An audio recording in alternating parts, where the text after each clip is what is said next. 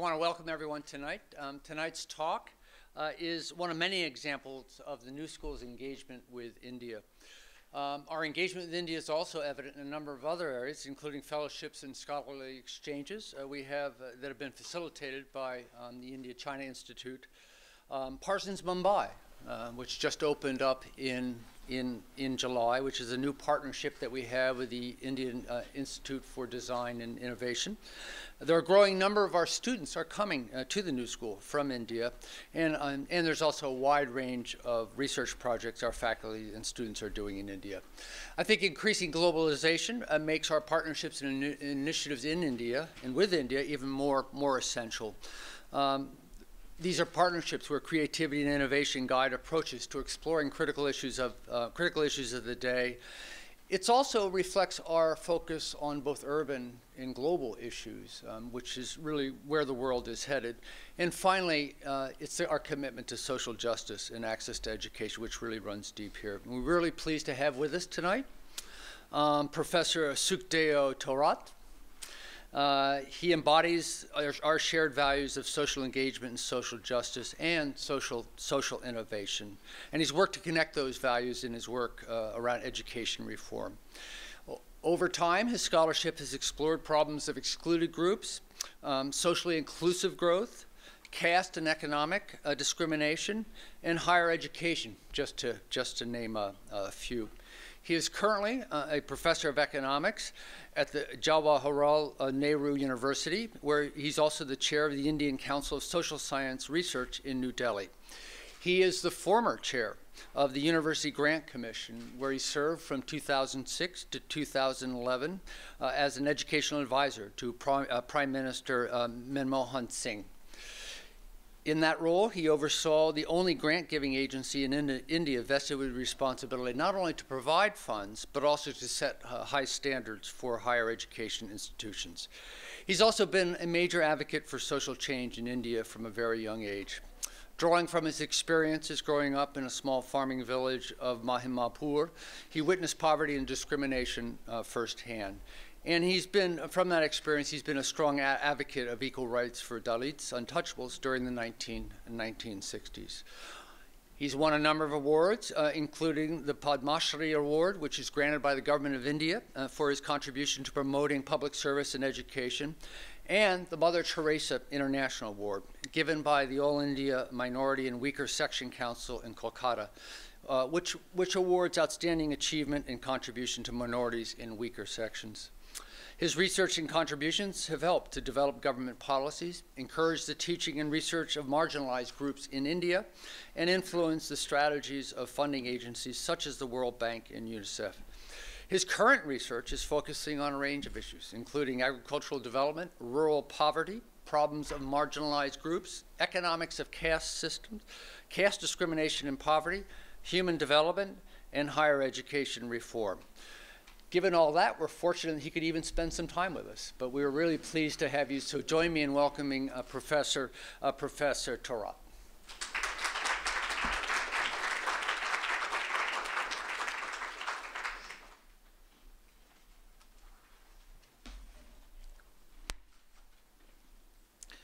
Good evening.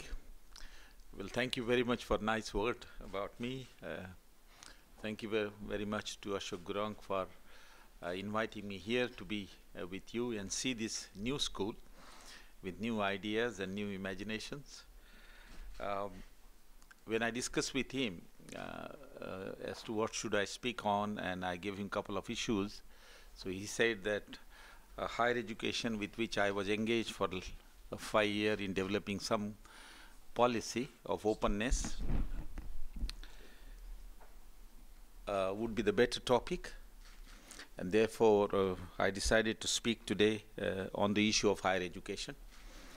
But uh, I'm really happy to be here.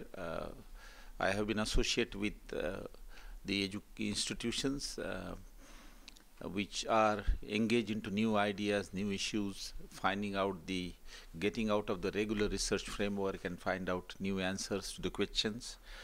I set up an institute, Indian Institute of Dalit Studies, uh, which entirely focus on the problem of excluded group because the, this research and study of this group doesn't find enough space in the mainstream social science research. Uh, so an institution was set up. NGOs are involved in that. Uh, Narula knows about it. Uh, but also when I was the chairman of the UGC, I set up 32 centers uh, called Social Exclusion and Inclusive Policies. And now there is a research, and a lot of young people who want to do research different from the mainstream research are now engaged in these centers. Uh, therefore, I am quite excited here. Uh, it's all different thing that I see. Uh, maybe I uh, I'd come and spend some time, some of the time. Yeah. Well, let me move on to the topic: uh, uh, higher education in India, emerging challenges of access and diversity. I wish to discuss a couple of issues of higher education. one I'll give a story of status of higher education and uh, uh, Mr. President, you have made a mention of openness and new initiative in higher education. I'll share about those uh, issues, particularly the development of higher education uh, since the 60s and at a much rapid rate uh, in the 2000. After having done that, then nevertheless, I would like to pose certain problems uh, that we are facing, discuss certain problems. Uh, and I will focus on only four of them that is disparity in access, diversity on the campus and the issue related to diversity, uh, mainly not only diversity but issue related to discrimination and gender aspects, uh, the problem associated with the academic diversity, uh, and then how to deal with diversity, social diversity, discrimination and differences in academic achievement and would like to have your comments and views on on some of this issue because we have not made beginning in some respects. In some we have, but not in all. But USA is far ahead of dealing with diversity and issue related to discrimination on the campus in higher education institutions. Let me, before I go to the higher education uh, as such, let me give you an idea as to what uh, what is the nature of the education system in India. In India, if you start with the schooling, uh, the, our school ends uh, uh, with the 10th standard. So you begin with first and your schooling ends with 10th standard. Then there are two more intermediate year. They are called higher secondary, but they are counted in uh, school. And the after the 12th standard or higher secondary, once you enter into the degree program, and that degree program, as usually, you have four year, we have three year. So degree with three year and postgraduate with two years and then PhD with number of years. So degree onward is counted as, uh, so higher education is in fact plus three, undergraduate, postgraduate, PhD, postgraduate diploma. So uh, that is the United Nations definition also, that the higher education is the one which includes the student that goes to the uh, degree program after the schooling. Uh, it is this uh, definition that I'll use later. What we have is, uh, unlike USA, where there are unitary universities, that you have undergraduate, postgraduate, and PhD student housed in one um, program. Same teacher teaches undergraduate and the postgraduate, and possibly advise PhD student. We, we have we don't have the unitary system except in some of the central university. I'll come to that later but, but predominantly our system is an affiliating system that you have university where postgraduate that is master degrees and the PhD student takes admission. The undergraduate students are in colleges. You have colleges here also. And these colleges are then, then affiliated to the university for award of degree. So we, what we have the, the affiliating colleges system and not the unitary system where undergraduate is also a part of the university system. But there are independent institutions with right to award degrees. This is a sort of an exception. They are called uh, institution of national importance. So you might have heard about the Institute of Technology or Institute of Management, very famous and very popular. They appeared quite often in this list, times list of 200 or uh, odd number. So there are institutes which have an uh, degree awarding right. They are not university, but they are called national institutes of importance and they have degree awarding right. This is the structure that you have, this is the number uh, that you have that universities are of different types in terms of their legal definition. So Central University, there are about 44 of them. These are set up by the government through the Act of Parliament and they are funded 100% by the central government. State government, the provincial government do not have any say uh, as far as the central universities are concerned. Then you have state university, these are provincial universities. The center cannot interfere, they are set up under the act of the state legislative council or the state government and they are they account the bulk of the universities in the country. Then there are 129 or 30 deemed university. This is a very uh, funny type of uh, universities.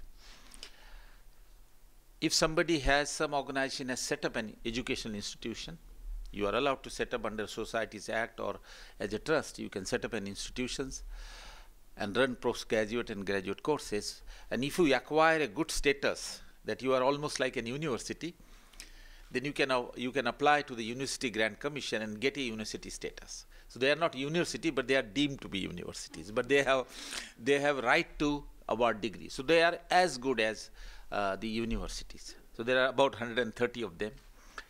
And then, as I told you, there are institutions of national importance. Uh, four of them are in state and 33 are in uh, in the uh, of a national character and the number must have increased quite substantially now. Now there is a recent phenomena that we did not have private universities in your country. But recently the out of this deemed university almost 80% are private universities in the sense that they don't get funding from the government they depend on their own finances what, what they are called self-financing institutions um, but in the states also, under the pressure, uh, the state government have started setting up state private university. They have a right to uh, set up universities. Uh, law doesn't uh, bar them from doing so. So there are about 111, number might have increased to 120. These are set up by the state uh, through the state mechanism, but they are self-financing university. They don't get grant. They largely depend on tuition. So this is the structure and then, of course, you have maybe 40,000 or around 45,000 colleges uh, which offered an undergraduate program in various disciplines. This is the broadly a structure of uh, uh, university system. Um, the state ha central has a much less role and it is the state governments and provincial government which play a major role. So uh, you can see here that the states, we can divide this into a state and the private sector. So state sector is the central university which are 44. Then some of the deemed universities are by the government, 13 or 14 of them. So 260, for example, 266 state university, 44 central university, 10 of, 10 of the deemed university, and most of the national institute of importance are in the state domain. Private sector include two categories and you must understand that because that issue is very important when I come to access. We have a private institutions but they are aided by the government almost 80%, 70%. So in terms of their rule and working they are almost like a government organizations. Therefore uh, they are called uh, government aided and uh, they are similar to that of government. I have not written here, I should have written here. Private include basically, as I said, this uh, government, uh, the colleges. Uh, they are not aided; they are self-financing, and there are state university which are private. Now, let me take you to the uh, little history about the development of higher education in the country. The we got independent in 1947, so all the state, all the universities uh, and the colleges till the beginning of the 19th century were set up under the uh, British Act of Higher Education. Uh, it is only after 1930s and 40s that Government of India uh, Act, Education Act was passed and more clearly of course after 1947 when we got independence immediate step was taken by the government of India and a, a, body called University Grant Commission was set up in 1953 of which I was a chairman during 2006 and 2011. Uh, so higher education is looked after by University Grant Commission and the Ministry of Education. University Grant Commission is the highest body uh, which provide funding to all universities, central, state, uh, institution of national importance and ministry also support them. There is a division between center and the state and uh, we have one particular word that we, we, uh, we call it that if you want to divide the power of the Indian government, uh, we called it the power of the central government, union government, and the power of the provincial government, state government. But there is a th third category, and that is called con concurrent list. There is a list wherein both center and state have some power. Education falls in concurrent list. Higher education fall in concurrent, not the school education. And in, as far as this concurrent list is concerned, the central government has a limited power, and that is to coordinate and and maintain the standard and monitor, monitor the standard across the country so that there is an uniformity. State have the right to set up universities, take uh, decision uh, the way they want uh, in many respect But as far as the curriculum is concerned, examination system is concerned, length of the degree is concerned, there are certain regulations which are binding on them, which are enforced by the University Grant Commission and the Ministry of Education. So central government's role is to have some sort of an uniformity, not that variation is not allowed, but uniformity, standards are maintained, and accountability uh, is ensured with respect to some of this aspect. I just want to discuss this particular period uh, because uh, the president also made the mention.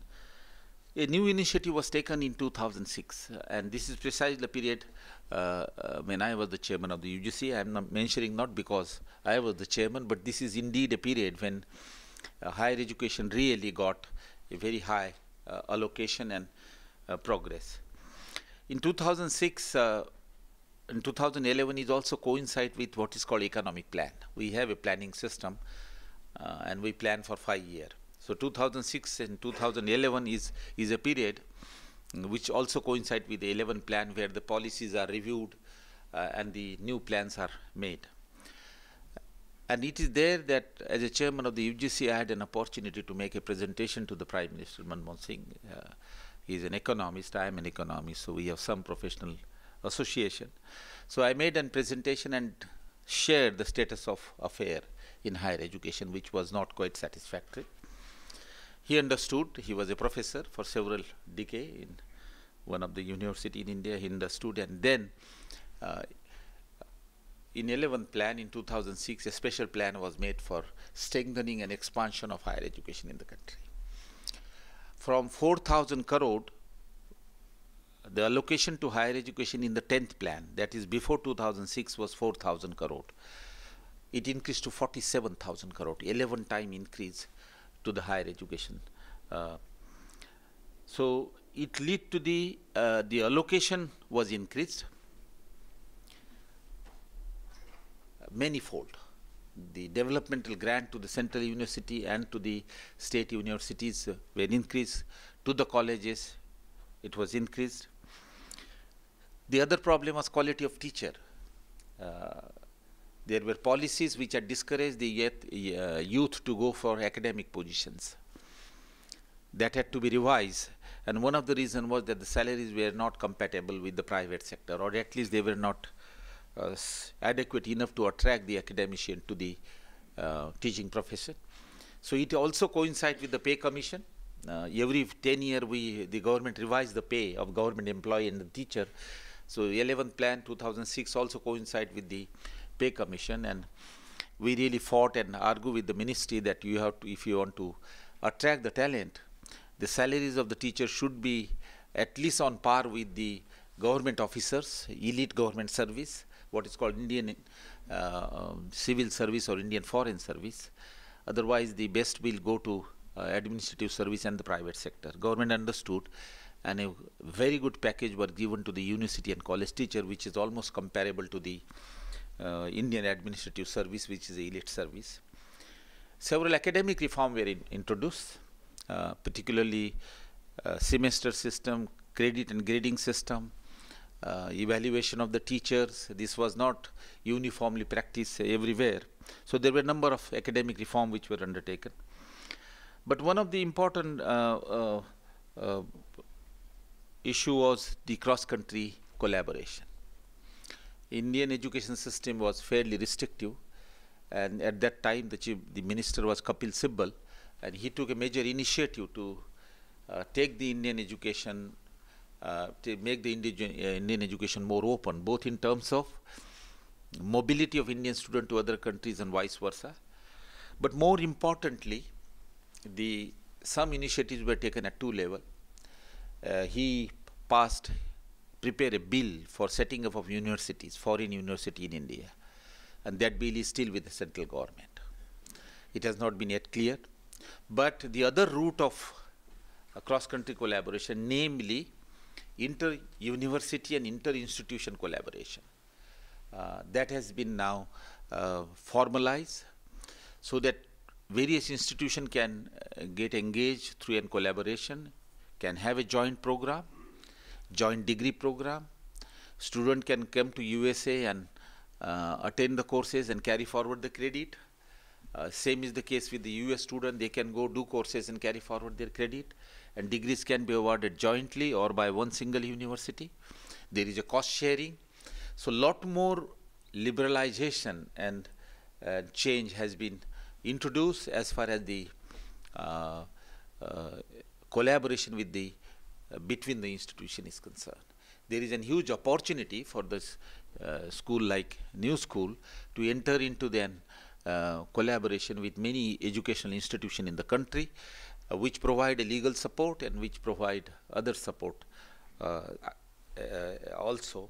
I think this is this was a major change that happened in the higher education. Well, there were other changes we, I would like to mention later.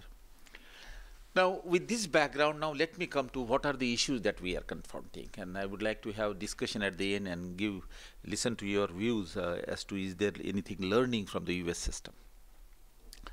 Um, the higher education access is uh, uh, the access access and development of higher education is measured through what is called gross enrollment ratio, and that gross enrollment ratio means that uh, in Indian system, a student with the age group, a person with the age group of 18, educated with the age group of 18 should en should enter into the first degree uh, and complete at least uh, the first degree by the age of 22 or 23rd. Therefore, this gross enrollment ratio, which is internationally used, is nothing is that the student in the age group of 18 to 22 which are registered in the various education institution as a ratio of the total population in the age group of 18 to 22.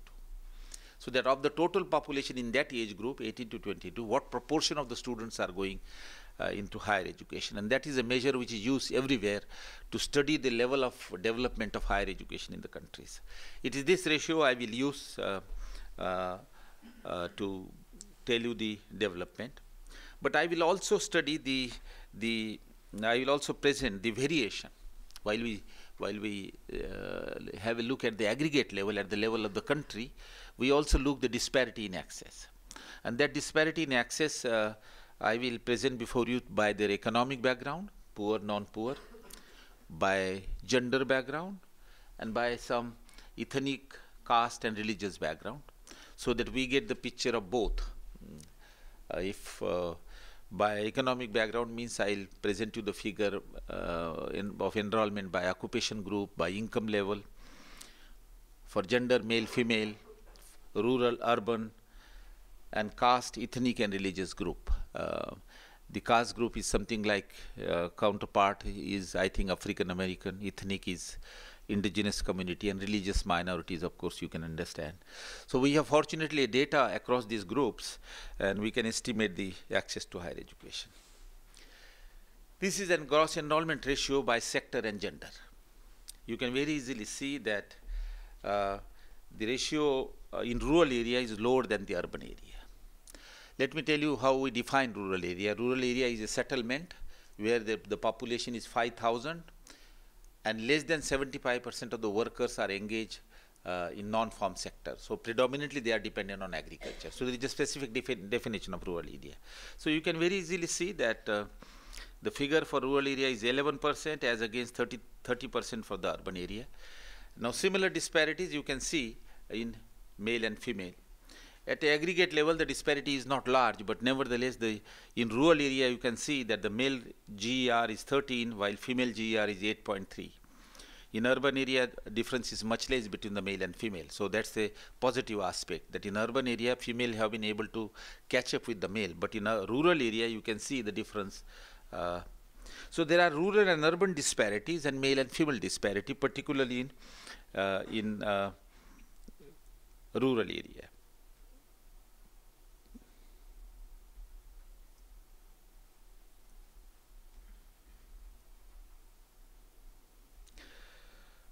Okay, this is by social group. This is for 2010. This is the very latest figure, 2010-2009. Now, if you take sh uh, scheduled tribe, which are indigenous people, you take scheduled caste, which are uh, low caste, and their counterpart is African American. Uh, OBCs, there are other backward caste communities, and others are higher caste. We have this caste system where there is a caste hierarchy. Now, you can very easily see the as you go up in the caste hierarchy from ST to SC and OBC and others, the enrollment rate goes up. If you can see that if you take indigenous community, their enrollment is 7% as against 26% among the other, and average is 17%. Or SC it is 11% as against 26% for other. So there are intersocial group disparities beside rural, urban and male, female. If you come to the religious group, uh, you see the disparities. Uh, the Hindus, of course, are the 85% uh, population in the country, but you can see that the, the Christians are doing much better. Uh, Jains are doing the highest ratio you find among the Jain. It's a, it's a trading and business uh, religious group, but it is followed by Christians and then to some extent are the Sikhs. But rest of them you can say here, you can see Muslim are lagging behind, Buddhists are lagging behind, and to a certain extent even Hindus are lagging behind. So there are inter-religious group disparities as such. Muslims are particularly lagging, lagging behind, followed by Sikh and, and, and, and Buddhist. So we have inter-religious group disparities. Let's come to the economic now. Forget about the social background. Let's take just the poverty. Now these are five rural area. These are five occupational group. These are simple group. You have farmer who have lands, so they have asset, and you have those who have private entrepreneurs. Now as against you have wage laborer, the agricultural wage laborer and non-agricultural laborer. So you can have two classes. Those who have access to asset, farmer and uh, private entrepreneurs, and you have agricultural laborer and non-agricultural labor. You can very easily see that those who have asset and resources, their enrollment is close to 12 percent as against 4% for agricultural laborer, bulk of them are in rural area, and 6% for non-agricultural laborer. So very clear disparities across the occupation group. Same is the story in urban area, that the those who own enterprises and are business, their enrollment ratio is 24%. Those who have regular salary, they do the best, 33%, but the casual labor, those engaged in construction and odd work, their enrollment ratio dropped down to almost 8%. This disp economic disparity you can see in urban area. Well, forgetting the rural and urban and you take the income, this is the story that emerge. These are the income classes.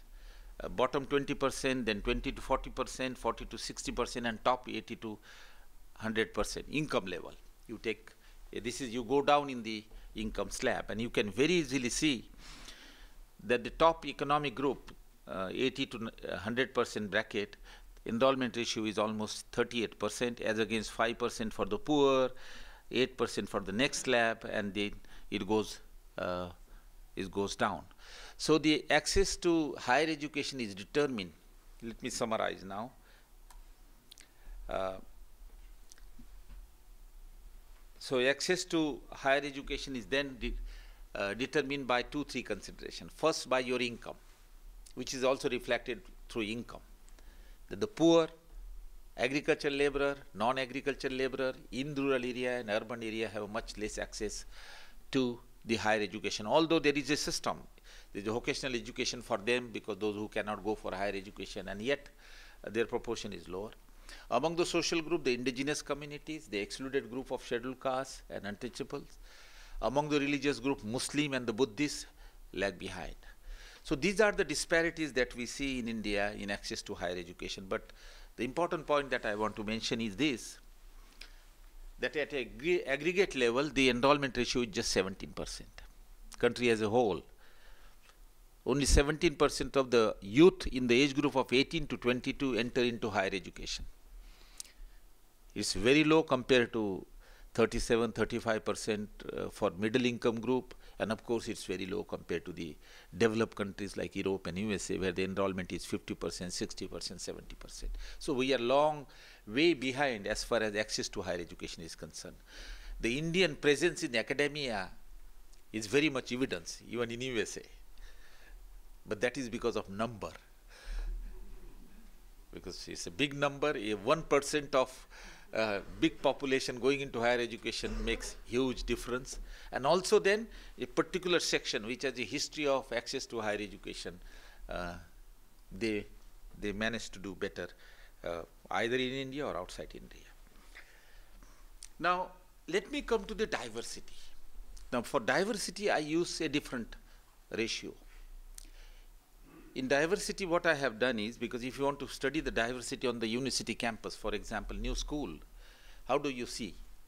You take total student in the university and work out the percentage of different group. Work out the percentages of male and female. How, what percentage of students are female vis-a-vis -vis male? What percentage of students are African American? What percentage of students are Latino? Uh, what percentage of students are from Asian countries? That's how, uh, uh, and you get percentage of those who are poor, non-poor. So you get the diversity, diversified character of the student if you take the ratio of each of them into total, and that's some that will add up to 100. So that is what I am presenting you very briefly. You can see here that out of the, this is the rural, urban, uh, and male, female. You can see that about uh, the the proportion of the urban is about 56 and proportion of rural is about 43. So urban share in the total student population is slightly higher than the rural, but there is a presence of student coming from the rural area. Huge presence in university and the colleges. As far as gender is concerned, female share is 42, male share is 57 or 58. But nevertheless, 42% of the students are girls.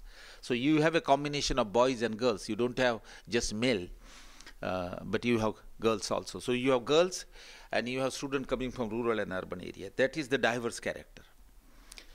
By social group, if you take the scheduled caste, scheduled tribe, OBC and others, which we have seen, and the last column is the down below is 100, what you can say is that again, uh, and I, I, have given the population share also. So you can see that for scheduled caste and scheduled tribe, their share in higher education student population is lower than their share in population. While for OBC, uh, it is close to their population share, but for others, their population share is just 30%, but their share in the student population is 48%. They are more represented in the higher education. But nevertheless, for the from the point of view of diversity, I'll come to the problem of diversity later. From the point of view of diversity, you do have student from indigenous community, you do have student from low caste, high caste, from rural area, girls, and male. So that is the composition of the population that you have uh, in the university in Indian campus. Same is the story about religious.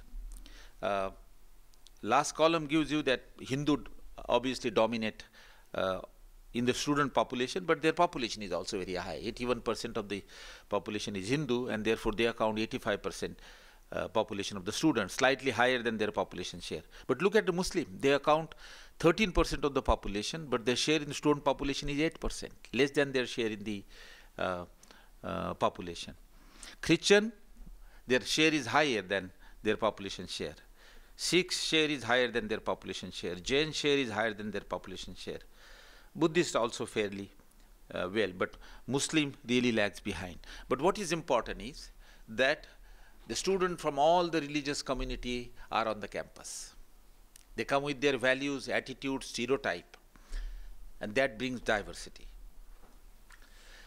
Similarly, you have a student from poor and non-poor background, although, as you can see here, out of this total student, almost 47% are from a uh, non-poor background, 47%, followed by second category, but from the poor backgrounds are less, 5%, 9%, 13%. But nevertheless, because of fellowship and scholarship, you have a student who are really poor and we have a student who are really rich, living in the living together on the campus, We're coming with a different background, and it has its significance.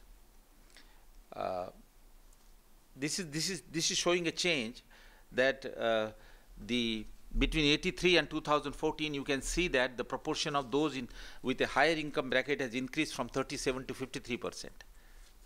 But that of poor has declined.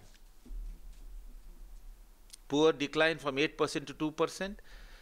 Second to poor declined from 8 to 6 percent. Down below declined from 19 to 12 percent. Another declined from 26 to 23 percent. But higher income bracket share in the total student population has increased from 30, 37% to 53%. Well, what is the nature of diversity then uh, in the Indian university and the colleges? The nature of diversity is the following. The student composition is diversified in terms of rural urban, is no more rural, uh, urban alone. If you go, uh, go, go back to the early 19th century, what was the combination? The combination was urban, male, high caste. That was the uh, unilateral combination in the universities and, and the colleges, urban, male and high caste. Now there is a change for last 50 years. What is that change? Change is that you have students from rural and urban, you have female now. In addition to high caste, you have low caste, you have indigenous people and from different religion, and also from the poor. Now this is the stock of the student that comes to the university. Is there a problem? Are there issues of diverse background? We'll see that. And he, it is here that I would like to learn something from US experience. The third disparity is academic disparities. With diversity in their economic and social background and religious background, there is also diversity disparities in the academic standing with which they enter into the university even if they meet the minimum qualification through entrance test and yet their academic standing varies and that has its own consequences on for uh, uh, outcomes in the uh, uh, in the college and the university. Now what i have done is that there is no data about the academic performance uh, of marks and other thing. I have taken two indicators. Namely what is the proportion of the student from private and public? Private schools private uh, private universities and institutions are the elite school, elite institution. Where tuition is very high, it is relatively better of student who can go afford to go, and they are supposed to be then, since they are coming from a better school, they are supposed to be academically better. So if we look at the division of student between public and the private, uh, we get a certain idea about their academic standing. Second is the language. There are English medium school and there are national uh, language school and the state language school. And invariably those who goes to the English medium school also happens to be those who goes to the private school and their academic background is uh, much much better compared to those who come from original languages, those who come from public sc school institutions. So it is with respect to these two things that I, two indicators that I am uh, impressing upon you, the disparities in the academic background and academic standing of the student. Here is the here is the one table which gives you the division between the public and the private. In 2007, you can see that the government and local bodies, which are public, state bodies, about 48% of the student population is from government operated or supported institutions, followed by 30% private aided. They are also as good as the uh, government institutions. But 22% of the students are in private. That is very, very important. These are all self-financing, supported institutions. The important point that you have to remember from this table is that the, the proportion of those who were in private unaided, elite private institutions self-financing was only 7% in 1995. It had jumped to 22% in 2007 and it must have gone to almost one third. So you can see the privatization of the higher education uh, in India moving at a very fast rate and as a result uh, you can see that the uh, you can see that the the the share of the public institution is going down particularly share of the private aided is going down so privatization of higher education uh, with a self-financing institution is a key feature that you can notice and it has its implication for uh, access. Now, in terms of social background, who goes to private institutions? So I have only focused the red part that is private unaided self-financing institution. You can very easily see that the indigenous community, the low caste proportion is 17 and 14 but as you go to others, the proportion increases 25 and 21, while the average is 22. So the indigenous people and the low caste communities proportion in private institution is less compared to the higher caste. But their share in the public is very high, 60%. Can you see it here? The scheduled tribe, 60%. Scheduled caste, 53% compared to the others. So they depend in the in public institution where the quality issue is an, is an issue. This is income. This is very important. Look at the uh, figure that are highlighted. Just take private unaided self-financing institution and you can see that the share of the poor is low and as you go in income bracket category the share increases. Average is 22 which I had shared with you but it is 27% or 28% for the higher income group, followed by 17% in the middle income group, but much less uh, for the lower income group. So it is only relatively better off that they go into the private institution. Well, I will avoid this, I will not complicate the matter. But let me summarize that as far as the private and public background is concerned, the high caste, urban, and poor, uh, and the relatively better off goes into the private institutions, which are English medium, invariably English medium, better quality institutions. So, by providing an unequal opportunity in learning, we are also creating unequal capacities. And the low caste, the indigenous people, the poor, the Muslims and others, other minorities, excluding Christians, uh, they depend more on the public institution. Now language is the other indicators of quality. And I have given here rural urban. Now you can see, uh, just focus on the English and forget about other languages for, for the sake of uh, uh understanding, you can see that in rural area, 32, 34% of the student, of the total student in rural area going to higher education, 34% of them goes to the English medium institutions, as against 60% in the urban area. You can very easily see the disparities. If you look at the social background, uh, you get the similar picture that a lower proportion of scheduled tribe, scheduled caste goes to the English medium school and higher proportion of the uh, those from other backward caste and higher caste goes to the English medium school, uh, English medium higher education institutions.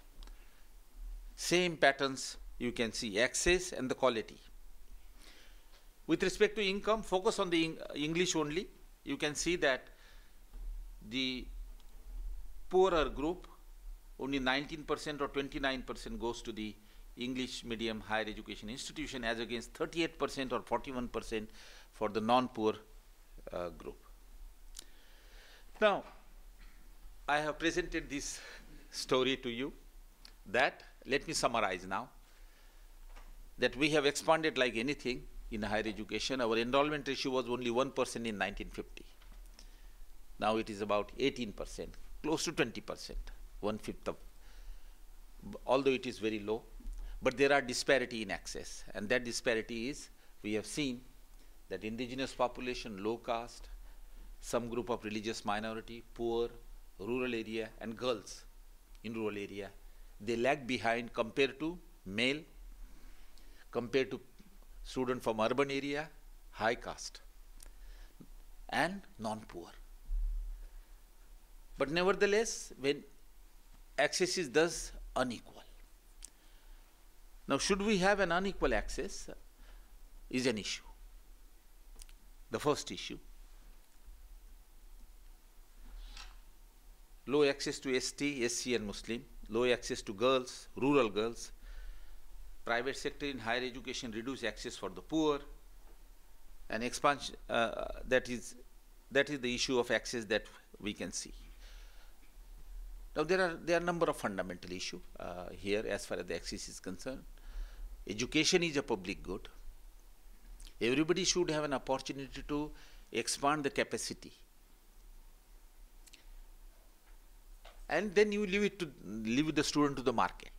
Market will take care in terms of their capacities. But at least one should provide an equal opportunity to everybody to expand their capacities. We cannot say that some will get good quality educations or some will not get, and some will get less quality education or some will not get education at all. So education should not become a source of inequality. If you look at Europe, for example, uh, there is hardly any private university or even UK for that matter, although the tuition fee varies, but except the Birmingham University, no, no other university is private and self-financing. But there are self-financing university in Europe where they have a financial support.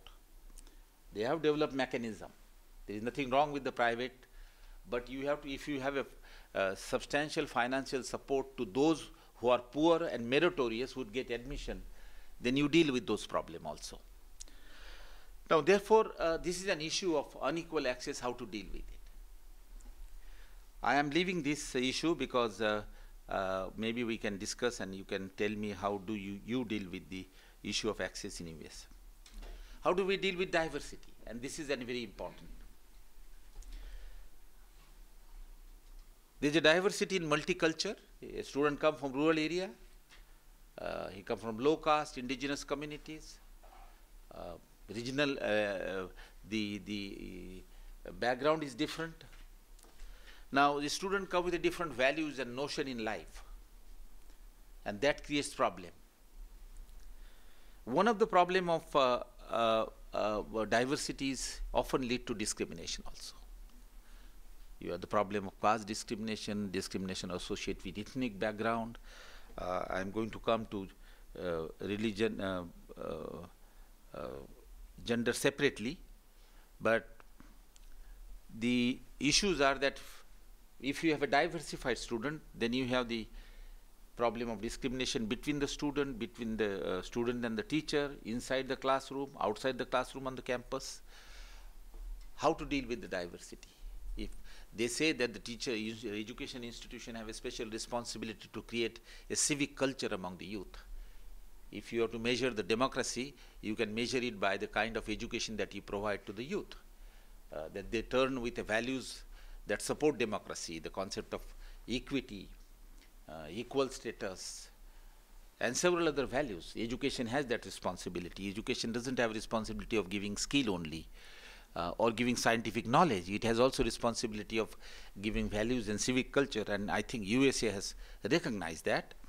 As back as 1995, I think the American College Association of College and University had set up a committee, worked for two years, and brought out those five wonderful report how to deal with diversity through curriculum, uh, through, inter uh, through uh, teaching in the class, uh, through intergroup discussions around certain common values, and I think it has paid quite a lot. But we have not made a beginning at all as far as the diversity is concerned. On the contrary, it led to the issue of differentiation, uh, intergroup conflict, uh, and uh, the group formation around, around the identity, caste, ethnicity, and other identities, which doesn't create an atmosphere of uh, uh, developing a student uh, with a common goal as such. It also creates the problem of gender relation. We are facing a tough issue. Uh, now that in urban area, even ha half of the students are girls. In rural area, they are less. The student with different religious and cultural background enter onto the campus with a different set of notions and attitude and stereotype in terms of behavior towards girls. And therefore, the problem of gender harassment, sexual harassment uh, is a genuine problem that we face. I think it is, it is picking up now. Uh, in my own university, there was a there were series of incidences. So, Vice Chancellor set up a president set up a committee. I am a member of that, and uh, we don't know how to deal with it. We know only legal ways of dealing with it. Uh, we have a um, gender harassment office. If there is gender harassment by the, of the girl, she will go and lodge a complaint. So, or counseling services. But the positive education program through curriculum, uh, the sex education, the gender education, uh, and uh, dealing with the different values of the students coming with a different background, uh, teaching them that uh, these are the value which need to be retained, these are the value which should be said, living with differences, that we don't have, to be very frank. We have nothing of that sort, while USA has done quite a lot. So the gender issue, one is the legal measure, another measure, the, but most important channel is changing the attitude of the student, dealing with their diverse background. A student coming from one particular region in India has an altogether different notion of how he behaves with the girl than the student who is coming from other areas. So now if they are coming together, you have to develop, uh, educate them, and that you can do by introducing curriculum and different pedagogy of intergroup discussion dealing with uh, uh, this issue. I think today I read in New York Times uh, that the Queens College here got number one, I believe, in their ranking of the state. There's a very interesting article where the author has pointed out different indicators of uh, judging the standing of the colleges. And uh, one of them is, of course, values. What do you teach? Uh, rather than how many students of a college get jobs. So it's a, it's a very interesting discussion, but I think this issue is very lively here, but we have not dealt with this issue. Disparities in academic background. Once a student enter with a minimum qualification to the university, each one of them have a different standing in academic background. We have seen in terms of languages, language background. We have seen in terms of private vis-a-vis -vis publics. So the student with a different academic standing is entering into the institutions. There is a need that there should be some program for catching up, removing some of the handicaps of those students coming from rural area, from ethnic background, girls coming with a different background. So you have to have some support structure. We call it remedial coaching in India, but some academic assistant program to those uh, who lag behind and at least give them helping hand so that they can catch up with others. Um, we have uh, courses uh, of giving support in language, English language, some program of giving support to the weaker student, but I think uh, it is not very substantial in nature. Uh, there's a dropout in the particular category of the student from the higher education uh, to a to a greater extent vis-a-vis -vis others. Uh, I do not know what kind of uh, approach is used here, but I think that is an issue that we are facing. Let me tell you, in the school now, one of the most elite school in India now, there is 20% reservation for the poor student. Now those poor students invariably are from a regional background, regional language background, poor background, and they are grouped with the uh, most elite convent, private educated uh, student coming from private school, and they are together. And those are creating immense, pro immense problem, but we don't know how to deal with that. We have to deal with this uh, differences. We need methodologies of bringing the student together and dealing with their uh, diverse background. I think I would like to stop it here. What is the way forward? What we have in India, we have two things. As far as the access problem is concerned, we have limited program of financial assistance in case, case for private institutions. In private institutions which survive only on the tuition and, uh, and the uh, support, the poor and the meritorious student who get into the these institution on the merit, they need some support. We have developed some system, particularly for indigenous student and poor student, and that is scholarship or financial uh, or loan system. But we are trying to deal with that, but I don't think it is comprehensive enough to deal with the problem of uh, the cost of the higher education. But nevertheless, we know the way out. remedial coaching is being used for for dealing with the different academic standard of the student, uh, and it has been successful in many cases. Uh, in my university, I was the in charge of this uh, academic assistance, so I, I, I discovered that there is these, these uniform pattern doesn't help. What we require is the individualized attention to the student, identify his weaknesses, his problem, and then give him a support, him or her a support. So we develop an individualized academic assistance to the student, but that's not the case with large majority of the universities. Student with poor background, with coming from regional languages and rural area have a tough time to uh, catch up with other, although they possess the minimum potential to be there because they are qualified through the test.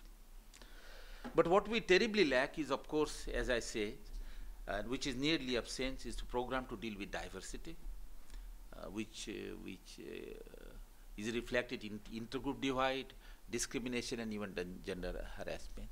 We are beginning to realize this problem, but I think we have not developed the positive education. We have developed legal measures to a certain extent, but the way USA has done and developed multicultural program, I came from University of Massachusetts. They have what is called social justice program.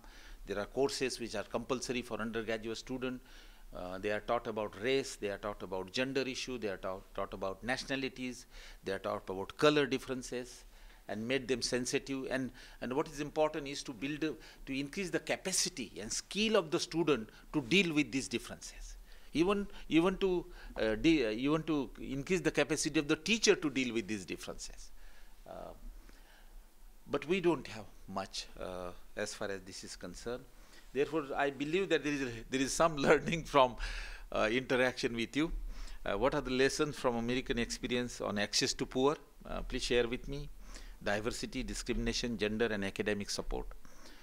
Um, there, there is one particular project which, uh, you know, Obama, Obama Singh project on in, uh, many of the Americans have applied under this project for research this Massachusetts University has got this inclusive university. And this is one of the important step in that direction that uh, this will be this this inclusive university project which uh, is with the University of Massachusetts. They have picked up Indian universities and they will study and suggest uh, some measures for dealing with the diversity and discrimination. Well, thank you very much.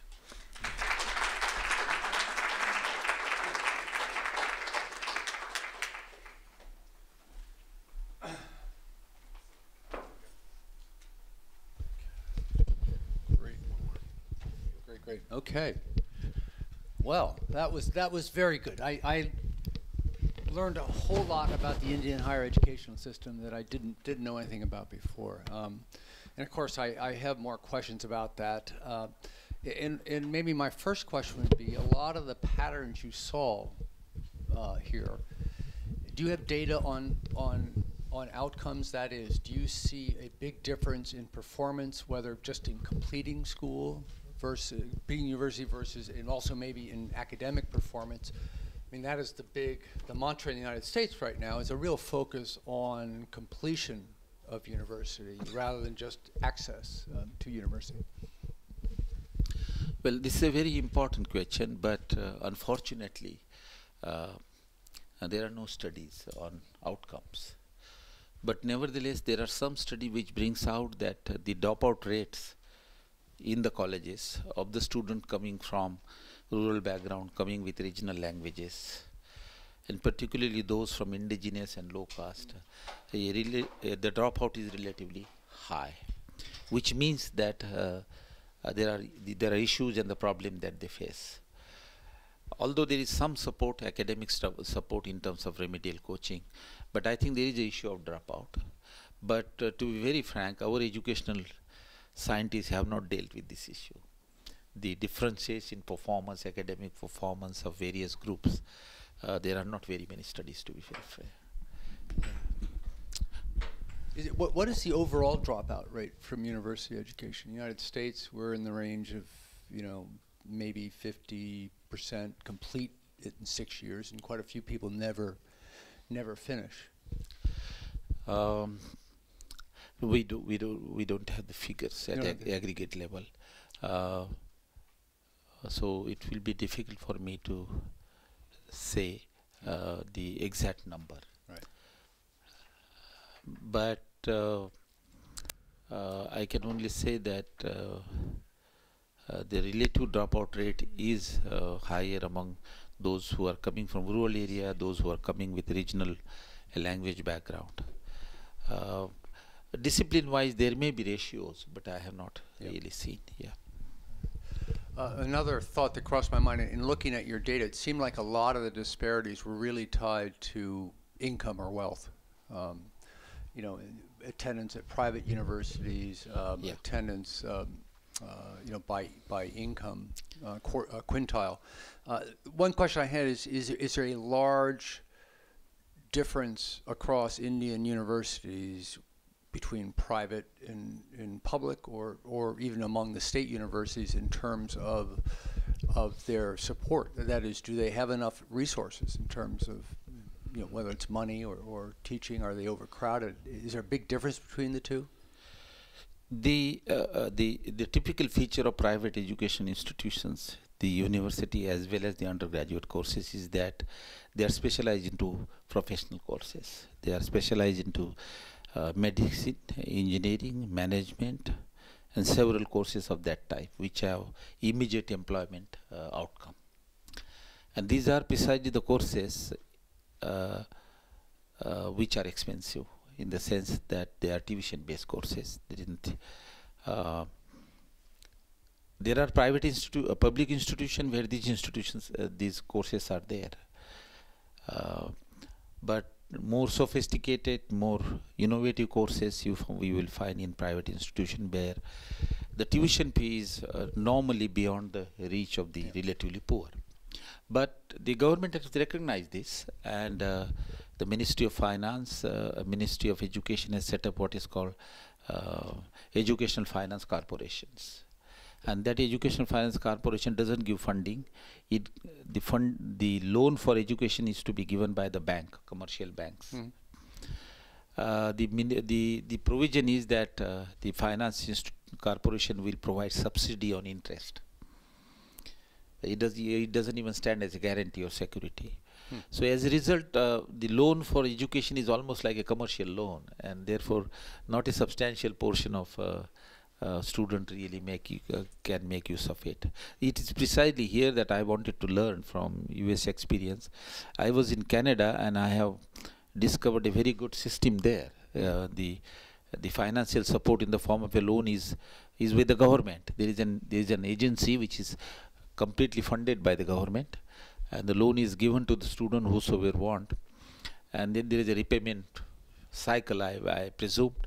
And even if there is a default there is a 5% or 10% default that is considered a subsidy.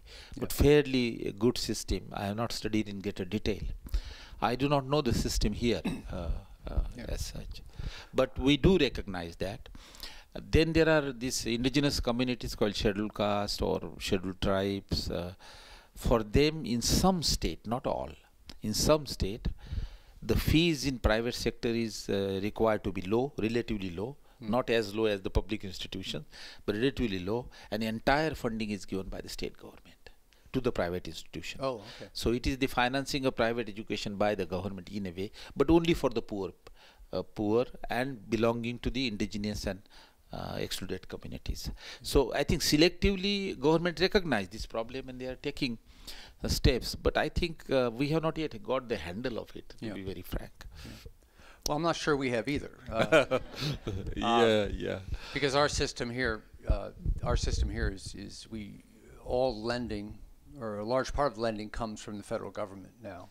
Uh, we used to have a private guarantee system, more like the commercial one you talked about, but almost all um, lending now comes, at least a certain base of it comes from the federal government. And, um, you know, it's, it's, we do have uh, a rising default rate in, in partly because of the economic times uh, going on, there, which is causing causing people a lot of concern.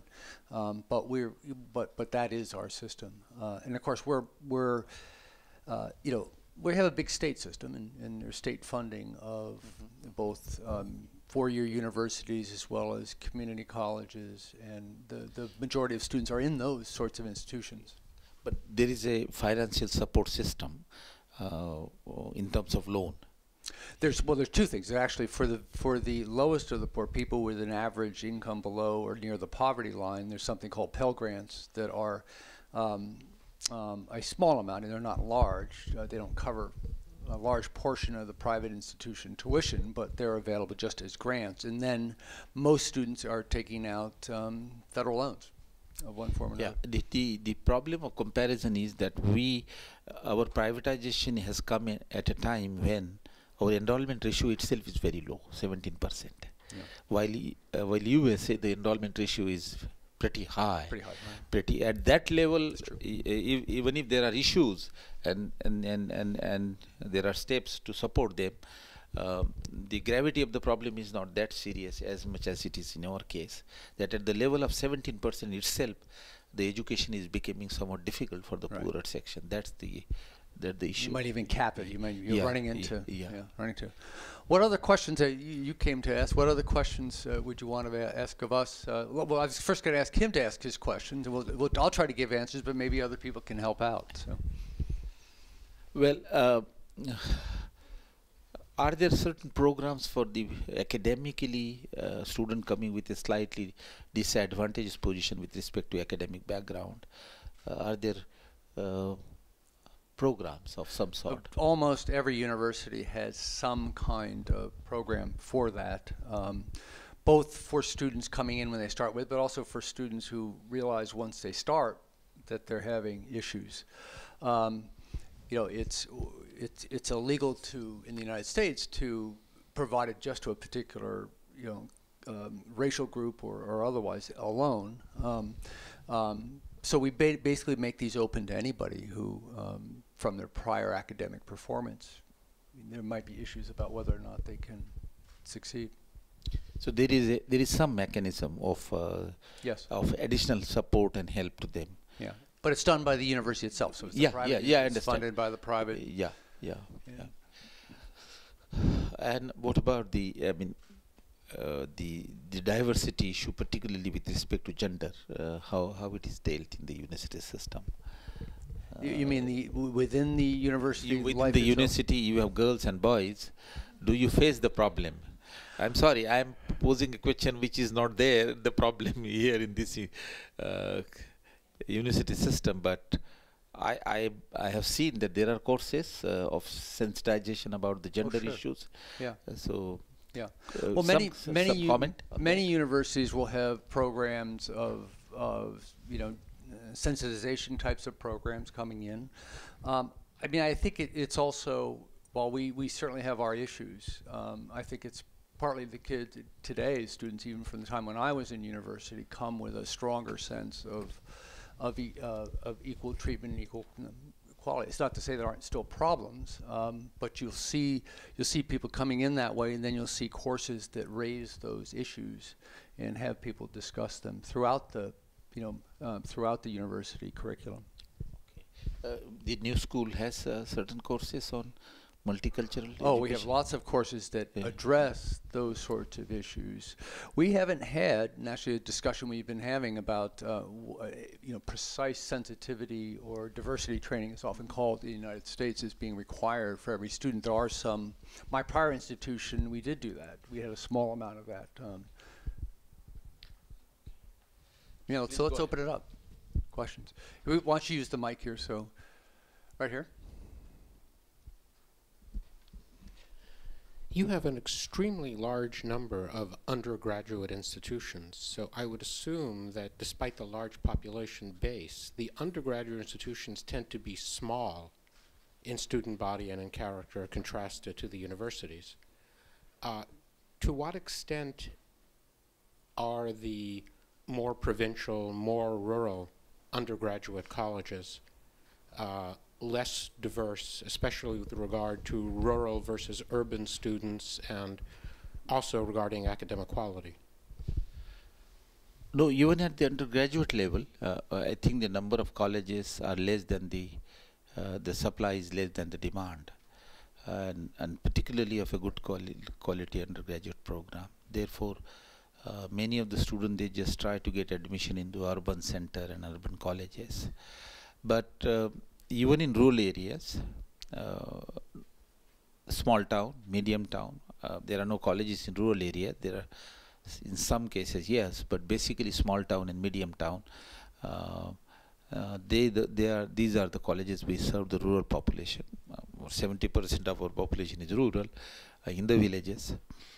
Uh, the problem of diversity is there. Uh, the, the student coming from poor background, girls, problem is a lot more likely to be severe there. Um, uh, because there are not enough hostels and other facilities.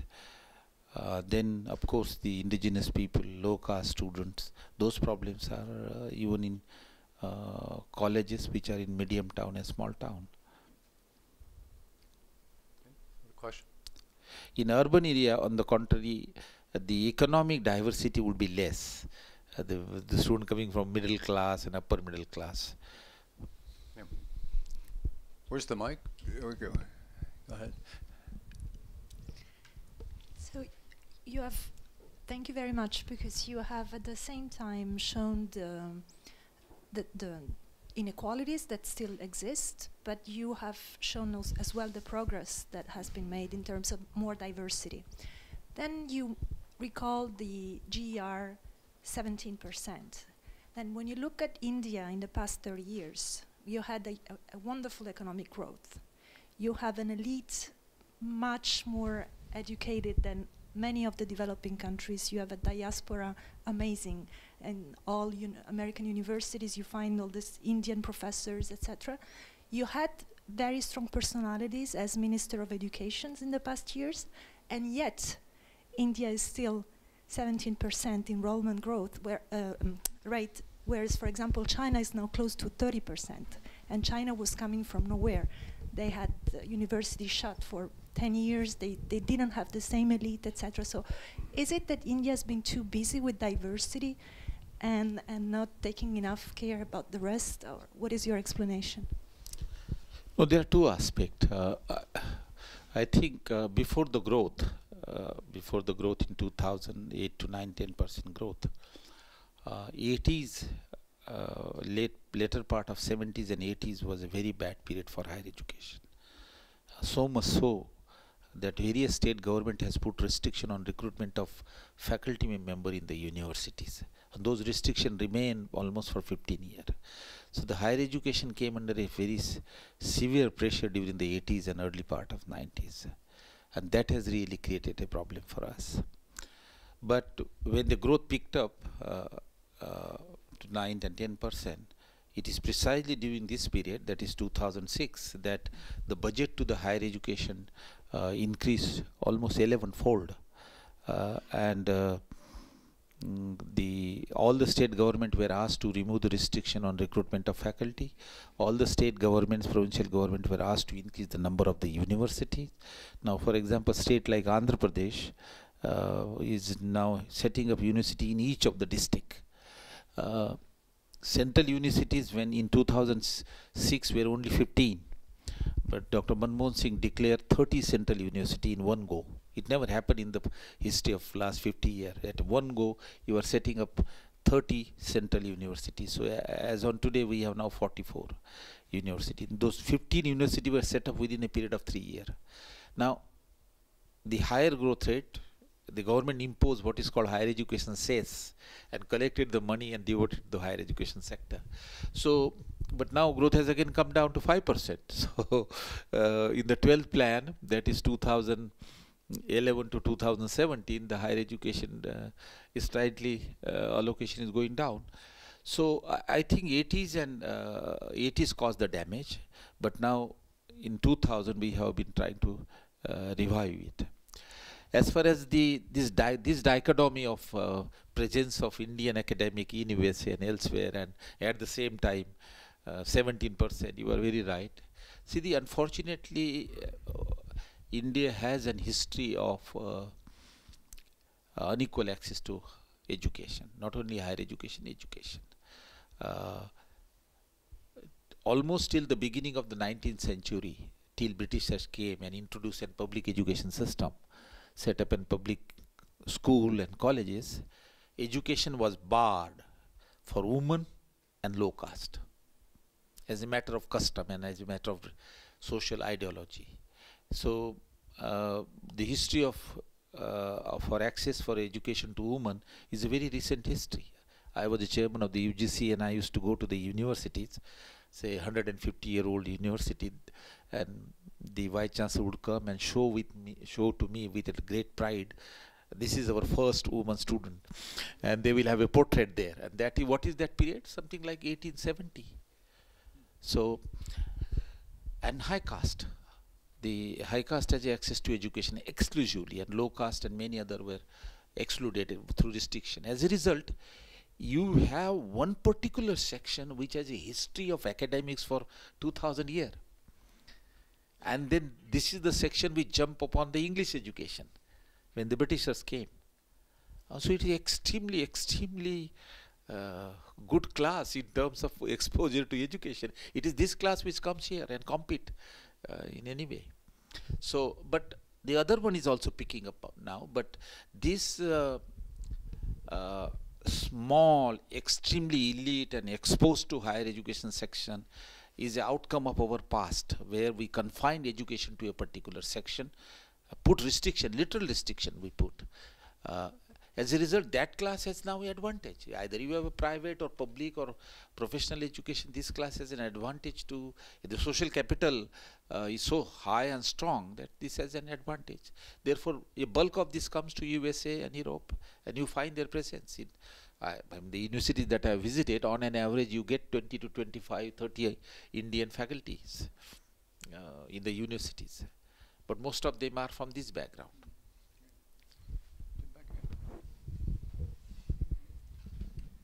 Uh, yeah, is is there any part of India that you could say leads the way in terms of uh, of higher education uh, uh attainment or, or education generally?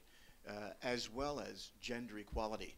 Uh, you mentioned an, an, initiative underway in Andhra Pradesh, uh, but I'm thinking of Kerala also, you know, which has you know quite a reputation, you know, in in this area.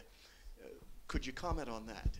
Yeah, you are very right. Uh, Kerala is an outstanding example of very high enrollment ratio in higher education because they uh, they emphasize uh, the higher education and most of it is in public. They allocate a higher proportion of their national income, state income to education.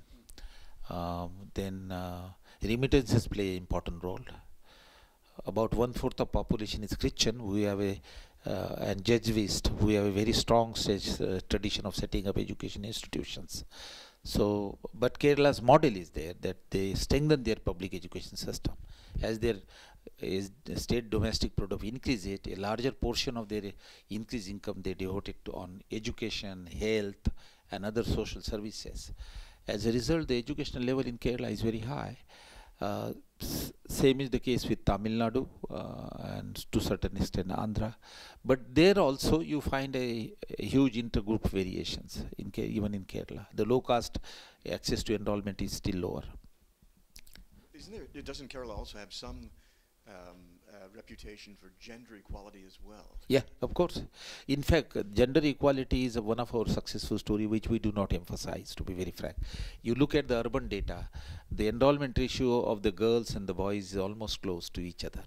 That is, there is a, because there is an informal affirmative action policy. We don't say it because formally it is for the scheduled caste and scheduled tribe, but informal affirmative action policy whereby you emphasize and create sort of facility, several facilities and provisions for the girls, uh, that has helped. I, I, as the chairman of the UGC, uh, during that period, I think hundreds and thousands of hostels were created in rural area for the girls, where they got a protected atmosphere, scholarships, uh, then cycles because they have to travel to a small town or a larger village to go to school. So cycle are being provided, scholarship are being provided. So there is an uh, affirmative action policy in favor of girls which has helped them to pick up uh, and but in rural area they are still lagging behind you can see the disparities in urban area they have catch up uh, with the boys and yes you are raising uh,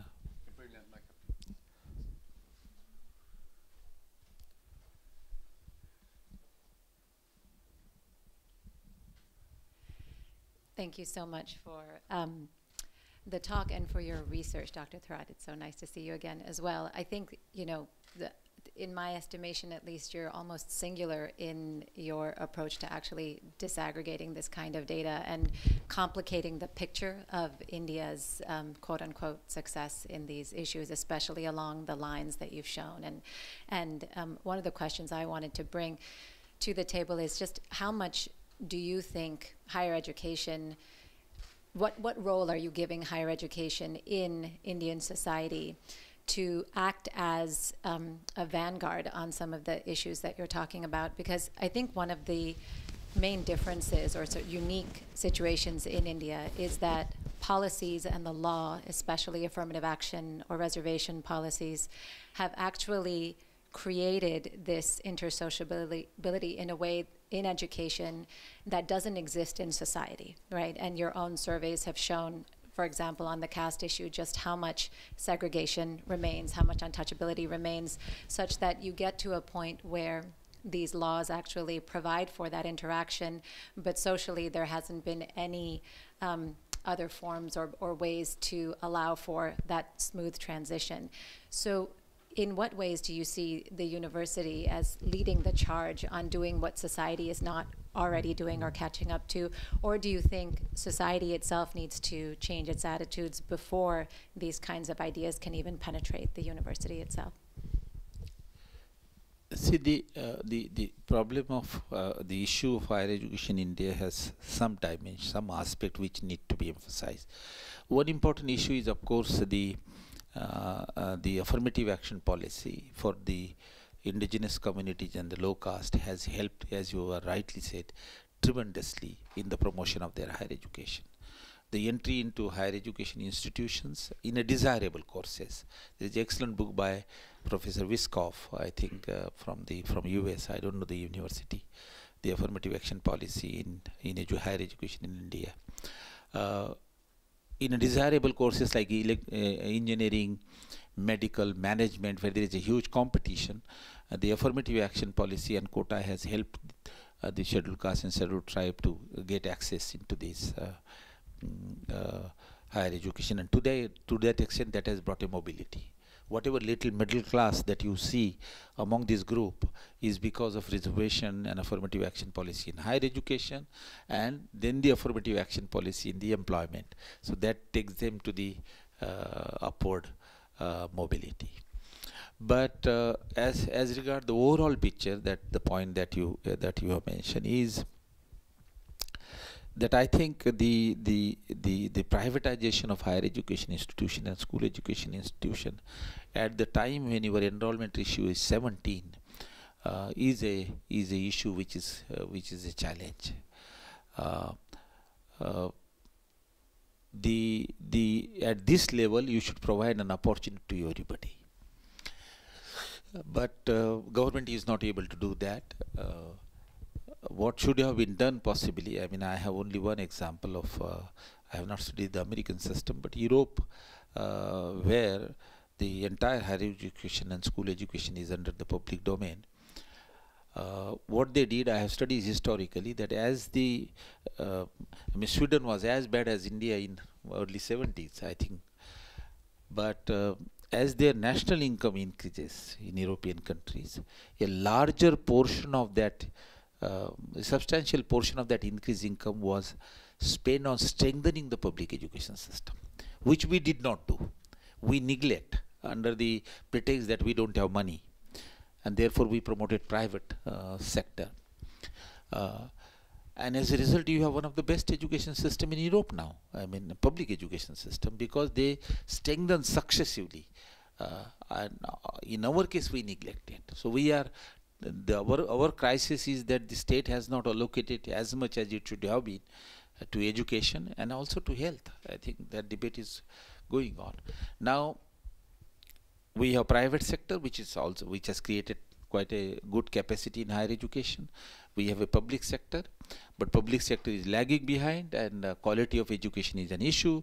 Private sector quality is reasonably well, but the issue of access is uh, uh, is a serious issue and, and we have not dealt with uh, those issues through either financial assistance package or by other ways. So that issue is still there and which we have not realized. We began to realize but I think it's going to create serious problem for us because uh, I mean nowhere in the developed world uh, inequality in education uh, bec- became a source of in, inequality in economic and opportunities inequality in opportunities. You allow everybody to develop the educational capacities and then you leave it to the market uh, leave it to take them the chances. But you are not creating inequality in capacity building and enhancement in India, what is precisely happening is that we are creating unequal access to higher education, which is automatically will lead to unequal access to employment and economic opportunity, and it will have an impact on uh, poverty reduction. It will have an impact on social mobility compared to China. In China, whenever there is an economic growth and increase in the employment, because of high level of education, uh, the, the literacy rate is very very high. So higher secondary and higher education now there are problem in china also but those who get education can make use of those employment opportunities. Uh, in india even if there are uh, employment opportunity it is those who have those uh, qualification can get opportunities. The others do not. So as a result uh, uh, the economic inequalities are created because of inequality in education. I think that's a serious issue which we, we will have to apply our mind. Let's take one, one last question. I have just one question, Dr. Thoratti, which also combines with your career too. You started with JNU as a professor, and then you, with the Un- University Grants Commission, you have also created certain structural uh, promotive actions which are for the benefit of higher education and to reduce the inequality. My question to you is now, is there any debates in India about the reduction of social science teaching in higher education? You are uh, heading now uh, a council of social science research, and we are in one way emphasizing a lot on engineering, technology, and other areas, uh, medicine, law. What about the social science, which actually will address to the issues which she also mentioned about the society, the kind of society which is there in equal society? Well, social education is surviving and, and is, fairly good in public universities and public institutions. Uh, most of the private institutions are only professionals. So to that extent, in the private education institutions, social science is taking back seats. Yeah, certainly. Well, thank you very much, uh, Professor Thorat. It's excellent. Thank you. Thank you.